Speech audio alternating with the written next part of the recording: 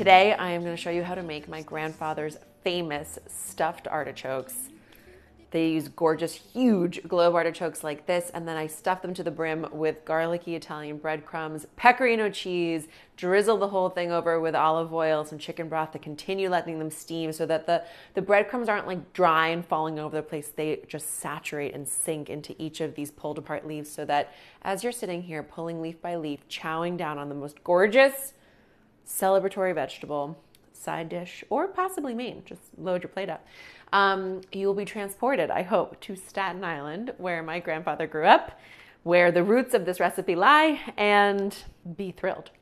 So, uh, the only sort of tricky piece to begin with is we're going to trim these artichokes, which uh, all I'm going to do is grab some uh, shears and just snip uh, your way around, sort of taking off the top third, especially of these outer leaves where they're really kind of stiff and pointy. Artichokes, I have to tell you, I've, I've seen a real artichoke bush in the wild.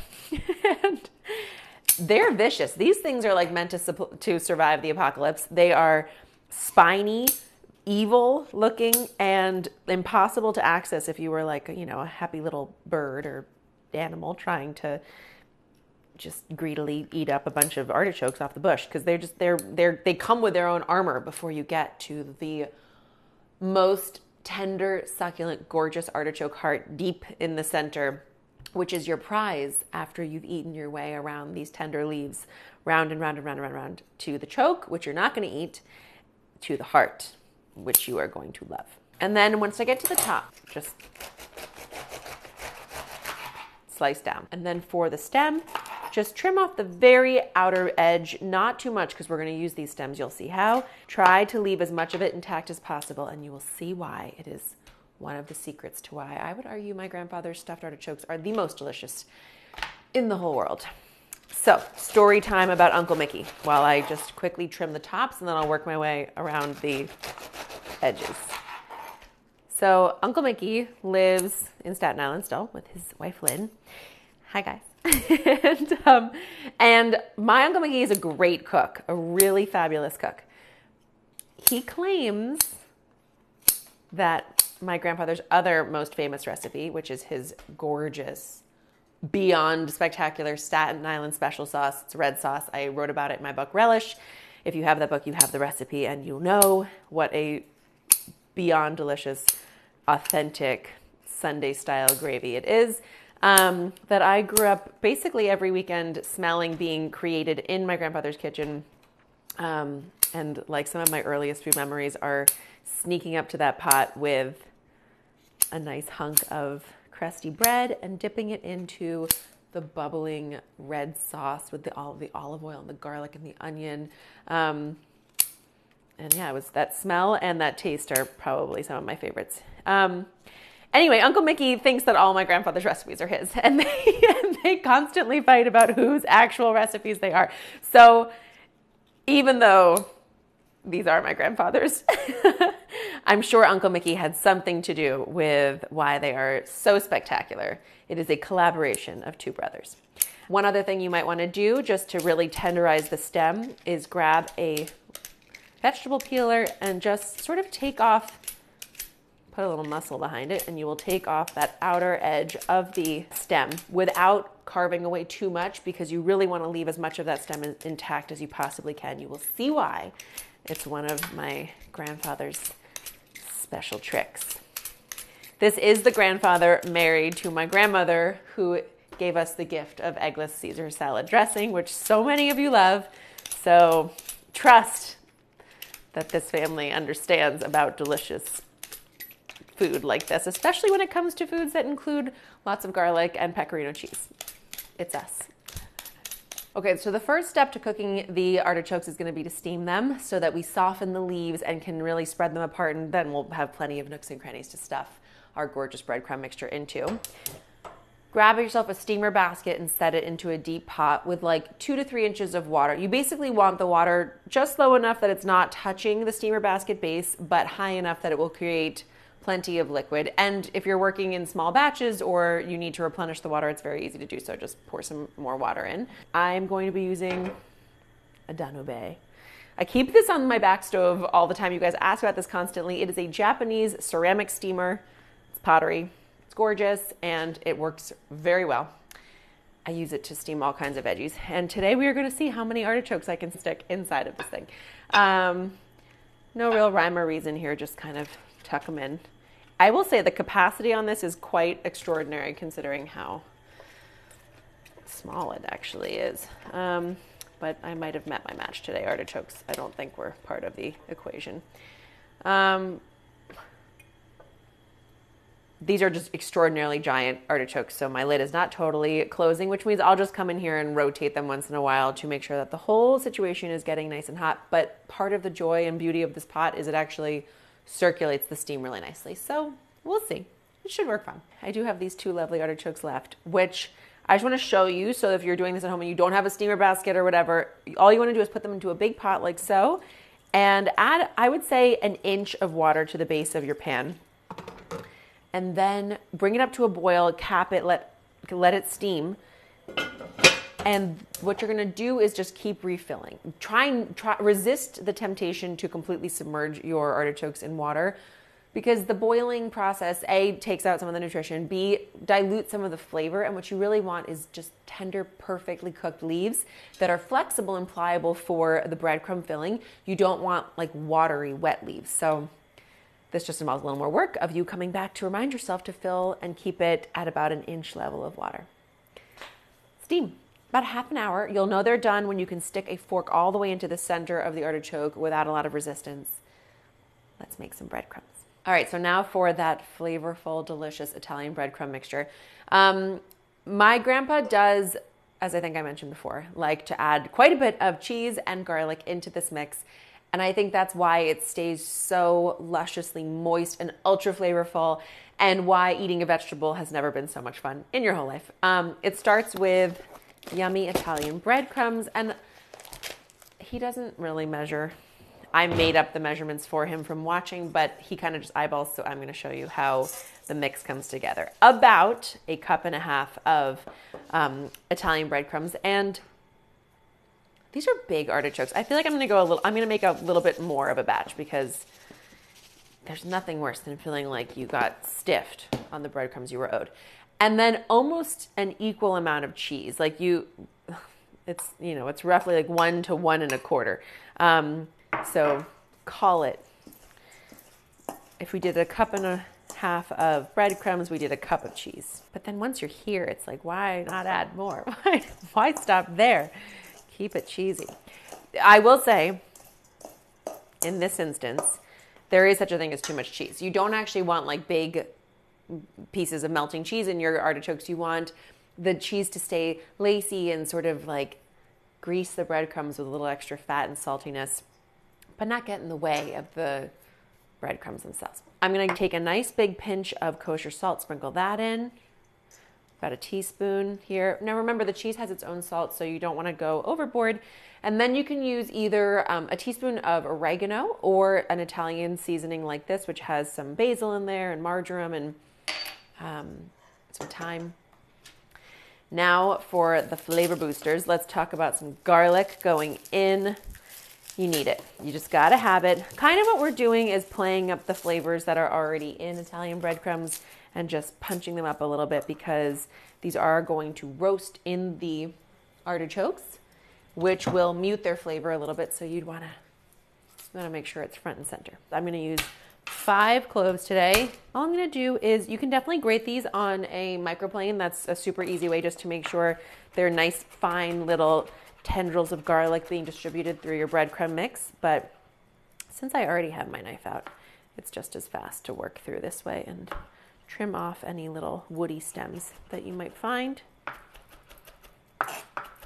Okay, nice chopped up, beautifully minced garlic, plenty of it going into our breadcrumb mix.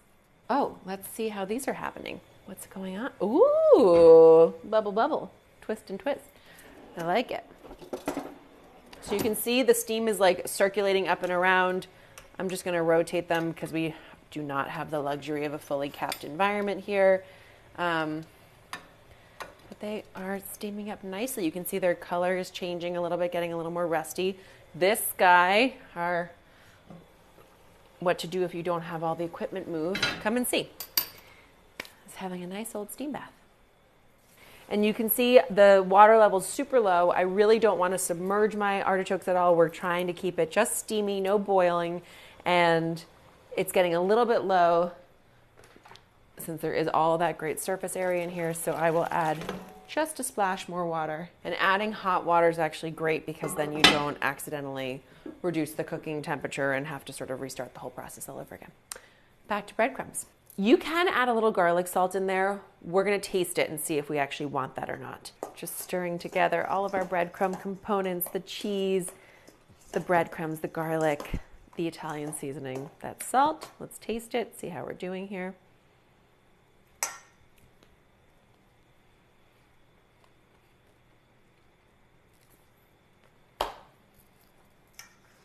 What else could, what else? Oh, actually, there is one more thing we're going to add. I was about to say, what else do we need? But we need one more thing. But we have to wait for it. Oh, wow. We went garlicky, guys. This is serious. This is really good. Mm. Secret ingredient happening in half an hour when those are ready. Guys, it is clearly taking my brain a little longer than normal to fire today because miraculously this pot is now fitting. You want to know why? Here's what I did. I gave him a little haircut. The stems, which I want to remove ultimately anyway, I just sliced right off and left them in the center there so they continue to steam. And now, magically, my lid fits. So you know what? I'm still glad. I'm glad I went through that experience so that I could show you how you can do it without any special equipment, but Maybe I need a second cup of coffee today or something. That's it. Okay, so the artichokes have been in just shy of half an hour. I want to let them go a little bit longer because I just tested with a fork and they're not totally tender yet. But before the stems, which are going to cook up a little faster, get too soft, go ahead and grab those out for yourself and I'll show you what to do with them.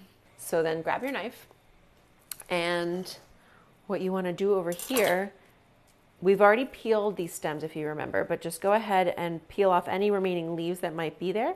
And you just want to give them a little rough chop. And this is going to add an extra boost of yummy artichoke flavor, tender moisture, and a little bit of texture into your breadcrumb mix. You waste no part of this delicious, flavorful veg into our cheese and our breadcrumbs and our garlic in there. And if you find that there's any pieces that are like too woody to really cut through, you can go ahead and leave those to the side because you won't want them in your breadcrumbs either. But, oh, mm, these are now beautifully tender. Drain them if there's anything there and just sort of set them as upright as possible into your baking dish. And we're just going to, once they cool just a little bit, we are going to loosen up the leaves a little bit more so that they have plenty of space for plenty of space for the breadcrumbs to settle. Um, they are hot, obviously, as you can see, and you definitely can just do them with your hands, but um, it's easy just to spread them with a fork like so. Nice pockets for all the breadcrumbs. So the first thing we want to do to make sure that they are really juicy and glossy and delicious is anoint with some olive oil throughout the whole sort of circle. Get all those little crevices. And now in with our breadcrumbs. So that that initial just sort of glossing with the olive oil I find is helpful because it gives a little more stickiness for the breadcrumbs to really hold on and hold into their places around all these little leaves. And then we're going to add just a bit more once the breadcrumbs are in to really saturate and flavor them up. And any little bits and bobs that fall into the base of the pot, don't you worry. You're going to scoop those up. They're going to be the extra saucy, extra delicious version of the breadcrumbs that you will just scoop up and divide among your favorite people. Into these outer leaves too, don't skip them. And these little gems of chopped up artichoke stems are going to give us nice little bursts of juicy flavor in there too. All right, I feel like that one goes to your favorite person. Definitely. It looks nice and stuffed up to the top. And just wiggle if you feel like there's some positions that have escaped you, eluded you in your stuffing. Ooh, be careful because this little center part here has stabbed me now like four times. It is so vicious. They're like little tiny daggers. I'm to eat you. Don't you worry. So these are mostly filled up all the way. I have just a little bit of breadcrumb left over. What I'm going to do is olive oil, olive oil. Okay. And then chicken broth. And the chicken broth really helps to saturate our breadcrumb mix and make sure that it continues to help the artichoke tenderize and cook as it roasts. Try to pour it very gently so you don't run the risk of everything kind of splashing away. And you also sort of want the base of the pan to have a little moisture on it. I'm gonna just sort of nestle these together so they use each other for support, like good little artichoke friends. And scoop up any little bits of, oh yeah, look at how this crumble sort of just sticks together. Top with what's left of our breadcrumbs. And oh my goodness, oh my goodness, we are in business right now. I do want the base of my pan just a little bit wetter than it currently is because I do want them just to have a chance to finish steaming. If there's anything left in there that needs some softening, I'm gonna grab a little water because I ran out of broth and maybe half a cup I'll add just to the base of this rather large pan. Okay, one last time. Just because we can. Grab some tin foil and just carefully cover your pot to seal in the moisture of that broth on the base of the pan and um, drizzled all throughout your veg. We are going to continue to cook these by roasting them in a 350 degree oven for another half an hour or so. Then we'll take the foil off and broil them just so the tops get golden brown. It's going to be so good. Into the oven. So the artichokes were in like a little long, 40 minutes. Then I put them under the broiler just to char the tops and you get the most golden brown little globes of vegetables stuffed with breadcrumbs and cheese. It smells utterly heavenly in here right now. It's taking me right back to being in my kitchen, in my grandparents' kitchen around the holidays, where we would always have this dish ready to go. Um, for any big family celebration, my grandfather would work all day long to make like 30 of these come together because we've got a big family. And then we would all sit down for a big family dinner, and people would tuck into their very own little vegetable gems. You don't even need a dipping sauce with these, they kind of come with their very own. There's a little bit of sauciness down here at the bottom that sometimes people would go in for, but honestly, they're going to be so flavorful just from their own inclusion with the cheese and the herbs and the garlic and the olive oil and chicken broth that we went kind of crazy with. I really think I did my grandpa proud. Mm. Mm. Those breadcrumbs have soaked up all the juice of the chicken broth and the olive oil glistening. That's what we're looking for this golden brown crisping on the surface. Those amazing soaked through breadcrumbs coating your tender artichoke leaves. Mm. Mm. You just want to run them along your bottom teeth to pull off the flesh that's kind of stuck on each leaf. Mm.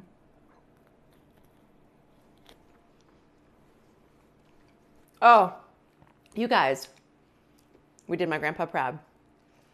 They are tender, so flavorful. And look, they looked a little gnarly when we first started. They were, artichokes look like weapons, a little intimidating, a little maybe lackluster when you first start. And then you show them so much love. You lavish them with olive oil and broth and breadcrumbs and cheese and all of our flavorings.